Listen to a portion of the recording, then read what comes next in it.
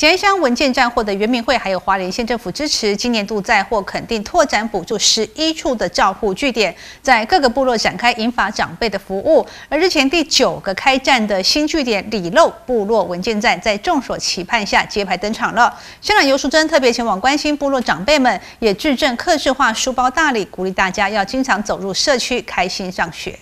东昌文化健康站揭牌仪式。揭牌活动开始，二三，吉安乡里绕部落文件站在众人的欢欣鼓舞中正式揭牌启用。吉安乡长尤淑珍及多名贵宾也一同见证部落历史性的一刻。在开站的这一个月里面呢，我相信我们的造福员，还有这个义工，还有就是我们的村长代表头目。他们都尽心尽力的为我们的文化部落文化健康站开战了这样的一个呃呃心意哈。那今天也非常谢谢我们的长者、我们的宝贝大宝贝们，愿意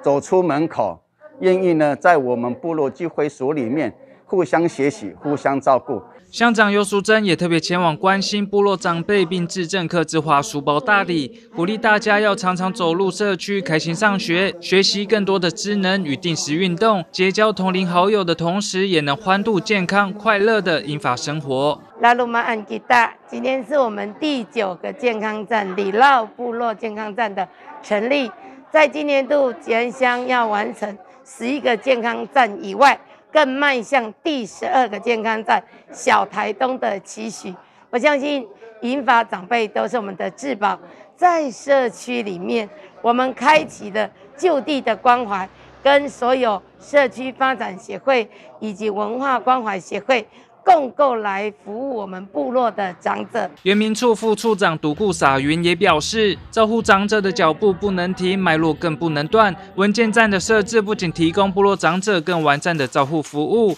也透过计划孕育部落青年担任专业照服员，同时改善周边环境设施，对部落有多元正向的帮助。未来也会挹注更多资源进入文件站，让长者能在吉安乡就地健康快乐生活。